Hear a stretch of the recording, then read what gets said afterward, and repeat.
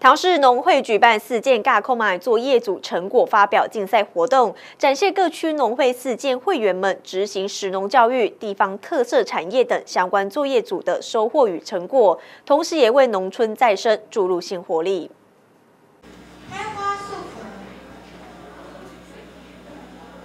小朋友们在台上用行动具卖力的演出，对农业教育的学习成果展现不一样的农村活力。每年上半年到暑假期间，台中市各区农会四建会员们都有丰富的课程以及成果，为让会员们有整体的验收与回顾，台中市农会特别举办作业组成果发表竞赛活动。我们各区农会哈，他们的事件会每年所办理的一个农业相关的作业组为主题。来办理这样一个竞赛那！我们最主要这是其实每年度办的一个年度盛事哈，我们希望透过这样比赛，让我们所有的世界会员，又是我们的小朋友，他们能更加的了解农业，更加的认识农业，进而可以喜爱上我们农业，未来也可以成为我们农业的一个生力军。今年活动共有二十家区域农会参与，二十五组作业组报名参赛。为了展现出家乡的农产品及文化特色，不管是道具、服装或是展演内容，会员们无不卯足全力准备这一次的竞赛活动，展现出四件会员对家乡农业生产以及生活的认同感。